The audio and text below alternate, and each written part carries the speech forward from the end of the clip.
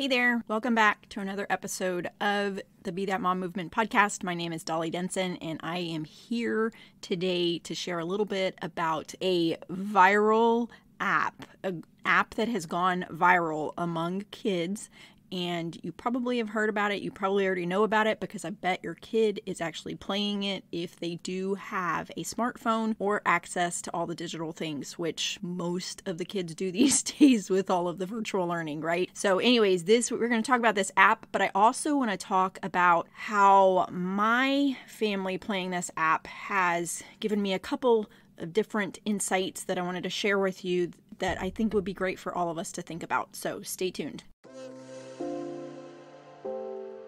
Welcome to your source for tips, tools, and support to help you be that mom that is tuned in and proactive for yourself, your family, and for the wild ride of raising kids in this digital age. Inspired by a mother's love with a relatable, real life, proud to be that mom flair. This is the Be That Mom movement with your host, Dolly Denson. So, before we get started today, I want to talk about something that is new and is going to be another way that you can kind of tame the crazy around all these digital things. If you've listened to my episodes prior to now, at some point, you've probably heard me mention that it is best to have boundaries around the use of the digital things where they are not kept in a bedroom and that they are put in your possession at night so your kiddo is not tempted to be on them during the night, to check in on things during the night, all of those things. What I'm talking about is called the Lootbox. It is currently in a Kickstarter campaign as they get the funds that they need to get it rolling, but their prototype has been mega successful in simplifying this whole thing around having a central place for you to charge all of the things at night. It's a smart, secure, multi device charger designed to help parents create healthier screen habits for their kids. The ones that have tested out the initial prototype have said they have less arguments as they know when they get their time, speaking of their kids. And most importantly, it helps them to be a healthier, happier family when they put boundaries around those things. So check out the Lootbox today. I will put a link in the show notes. They are at a discount at the moment as they are in their Kickstarter campaign, but they are close to getting all that they need for their funding and they will be rolling this out shortly and the price will go up. So check it out at the link if you're interested in it, grab it today. Okay, the topic at hand today is the viral video game app called Among Us. Are your kiddos playing this yet? I actually didn't know anything about it until I was sitting in my living room one night doing stuff on my computer while watching something and my daughter came home with our bonus daughter, which is her best friend who spends a lot of time at our house because they're both in culinary school together. But they came home and sat down in the living room and they said to my son, Do you want to play Among Us? And he's like, Sure. And he oftentimes is not on his phone, he's usually on his computer. And so I was wondering why or how he knows about the game because, you know, he's on his computer when actually he knew about it before they knew about it and he was playing it on his computer. So that got me to thinking a couple of things. And I will go into some of the details of this game and what you need to be looking for and uh, all of that. But as I listened to them play this, it made me think of a couple of things. I've talked about how, you know, we need to have kind of a, a keen, highly sensitive approach to all of the things around the digital things, not assume that our kid is just going to know how to navigate it, not assume that they are just going to make the right decisions, not assume that things aren't going to influence them and possibly in a negative way. But as we set up boundaries around the use of the digital things, as they get older, there has to be this level of independence, right? So as I was listening to them going back and forth about this game before I learned more about it, I thought, wow, the digital world and all of the things move so, so fast. And so, number one, there is just no way for us as parents to keep up with it. It is more than a full time job to know all the ins and outs of these things. So, if our kiddo has a device, has access to the digital things, it's, you know, I say it in almost every episode that it's imperative that we have something in place to help us monitor, not to be spies, not to feel like we can't trust our kid, not to come from a place of restriction and, you know, distrust and all of that stuff, but to come from a place of being proactive and knowing that the influences are massive. And something like Bark, I don't know of anything else out there that compares to Bark in terms of its versatility and them constantly being on the top of or the cutting edge of knowing what's going on. It's kind of like there are eyes in our ears to pay attention to the things that are important, not to worry about all of the little things. And as an example, let me tell you about a kind of a side note. Yesterday, I got an alert from Bark. I have Bark set up to monitor my youngest's phone, I have Bark set up as Bark Home to monitor our devices across the board at a high level. So basically to filter out someone accessing pornography, someone accessing, you know, the more extreme things in our home while our, all of the devices are hooked up to Wi-Fi, right? So I get an alert from Bark yesterday, and a lot of times I get them and they're like detecting an email that he got that is related to a video game I have approved for him to play, and it'll say something about violence or you know a weapon or something like that. So most of the time I'll look at those alerts and then you can set them up to where they have different levels of alertness, I guess, where, you know, you can say that I don't want to be notified about this thing from this certain sender, right? So I this up thinking, you know, it's probably just another one of those things. And it says something about the mention of a weapon and it's actually from text messages. And so I thought, huh, okay. So I look at it and it's actually a conversation between him and his pawpaw about hunting. So it made me laugh because Bark detected it and it was something innocent and it was something that I was aware of, but I would not have seen that alert if I didn't have Bark in place, right? So there's that one level that we need to have something monitoring as our ears and our eyes. And this, I promise this episode is not all about Bark, but something that's on a high level helping us in that way because we cannot keep up with this. And it was very obvious when my kids started talking about Among Us. And yes, they have smartphones, they are older teenagers now, so they have a level of independence that I have allowed, but I still have Bark as a way to monitor, right? So, my first point is that that we cannot keep up with all of these things, but we can have something in place that helps us to monitor like that, that helps us to filter through Wi-Fi just because kids are curious and sometimes they don't know what they're in until they're in it, right? But the second thing is that the digital things aren't all bad because what I observed in this little moment of time that almost seemed like it like slowed time as I listened to them go back and forth is that this game brought them together. They were working together to do to you know to accomplish the tasks of the game. And I thought it was really cool because my son was sitting on his computer, so it's apparently something you can buy through Steam or something like that, and they were both on their phones. And so as I sat there, I listened to them and it was almost like they have another language that they were talking, which I'll talk about in a second. And all of this is something they were very familiar with before it even entered the realm of my awareness that it existed, right? So if you have a younger kid, of course, you need to be, I recommend you reeling that awareness level up in the sense that you need to be much more proactive about what is out there. So I'm not saying don't be proactive, but as they get older, you can develop this confidence in what they're doing as you have monitored them closely and still have the high level of monitoring in place. Okay, so I just listened to them and it was just an amazing thing to see them actually doing something together. They were all sitting in the same room talking about this, you know, and just having a good time together. And so, you know, that's what mothers want, right?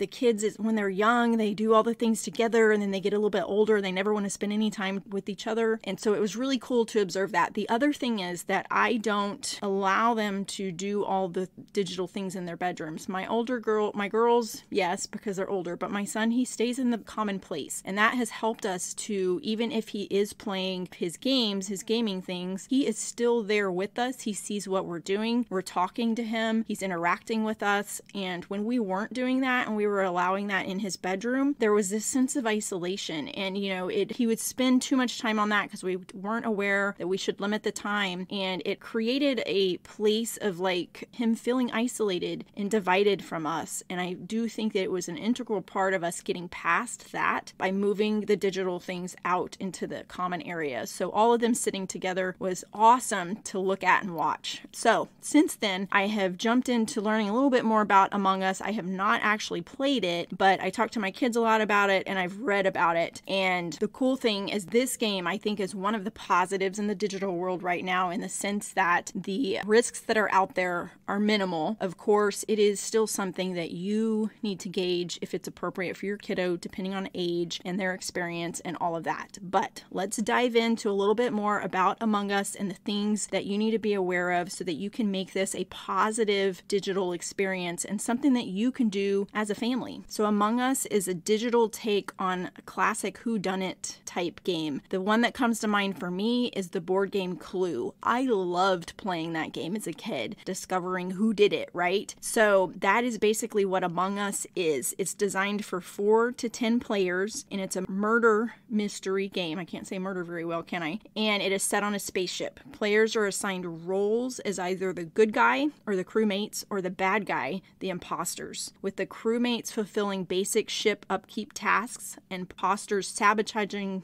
Ooh, I can't talk today. Sabotaging the ship and killing crewmates.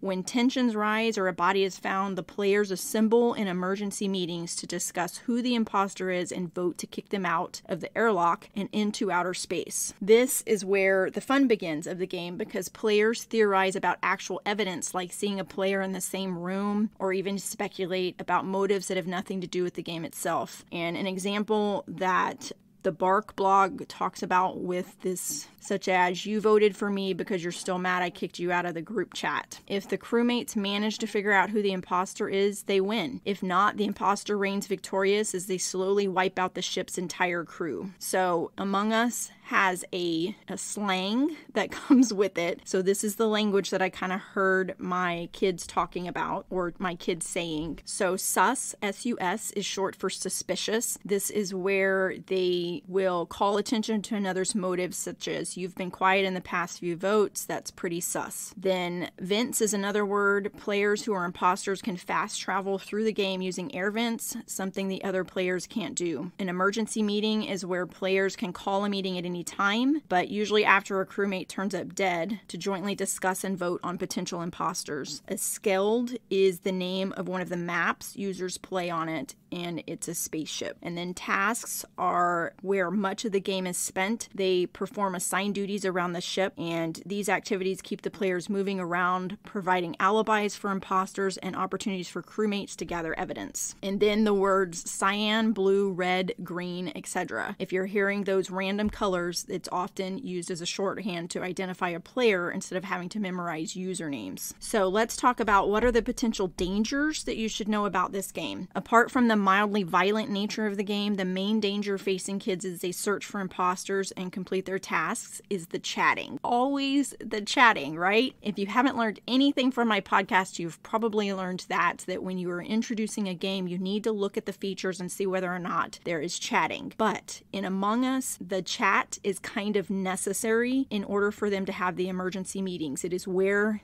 they hold the emergency meetings to discuss who might be the imposter. A chat censor is available in the settings menu, but you can't disable chatting entirely. So be aware of potentially inappropriate conversations that could happen with strangers. This whole little thing I talked to my kids about and my bonus daughter about and asked them, have y'all, uh, who do y'all play with? You know, and they said, we typically just play with each other or we play with some of our friends from school. And then I said, well, have you ever played with strangers? And they said a couple of times they've let someone in, but if they start doing anything weird in the chat, they kick them out, is what they said. So if you have a younger kid that's playing this, I would recommend that you make it kind of family thing, a local thing where everybody on the same Wi Fi is playing it and you're in your own little game and not allow the stranger thing, not allow someone else to come into the game unless it's someone that you know. The other thing that my kids say is the chat goes so fast that there's not a lot of time for conversation between them, like doing their tasks. So they said even if someone is saying something funky, the game just moves so fast and you don't have time to sit there in the chat. So if someone's weird, they kick them out. That's what they told me. So the other thing to be aware of is that a lot of times, and Son does this with some of his other games, is they move to Discord or another type of chat platform using FaceTime or Zoom or something like that to chat and have more in depth conversations. And that's where some of the potentially inappropriate content could expose, you know, your child could be exposed to.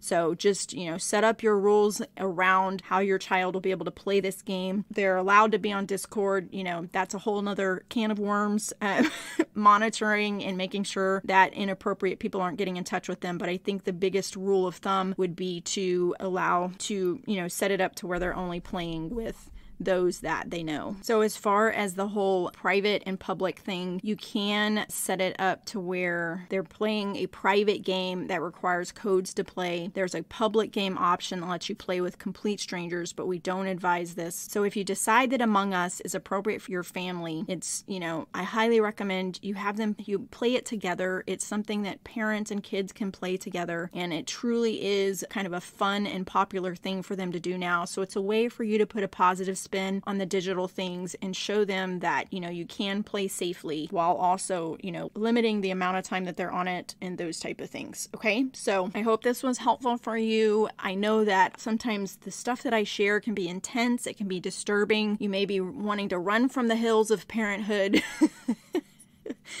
because you know, there's just so much to tackle. But there is a positive to all of this, and Among Us is one of those things. If you can just set up the rules and the boundaries around its use and make it something that you do together. I personally loved playing the game Clue. If you don't want to deal with the threats of the digital world, pull out Clue. It kind of has the same type of feel to it. But just know that together we can navigate this. That is the point of my podcast is for us to be that mom strong and put a positive light on all the things and be proactive in this space while allowing our kids to grow and learn how to be healthy and happy around all the tech things for them to be a tool and not to be something that determines the future of their lives and that doesn't tell them who to be and what to like, but is something that they can use it as a tool. Okay, so I hope you found this helpful. Please check out Lootbox. I think it is an awesome, awesome thing. I have spoken with the creators of it, and it is just going to be so, so popular. It is at a mega discount right now. So if you look at my link and you want to get it, grab it now. Help them get this funded so they can get it out to more people, and then you will get yours and be able to kind of tame the crazy around keeping all the digital things in your house. It does say that it actually fits. It will charge up to 12 USB devices devices. It can fit four laptops. It's designed to for laptops 15 to 17 inches. There's space for iPads, tablets, mobile phones, gaming controllers, TV remotes. Basically, it's everything you need that needs to be charged but also put away. So you don't have like this massive like pile of charging stuff over in the corner type thing. Okay?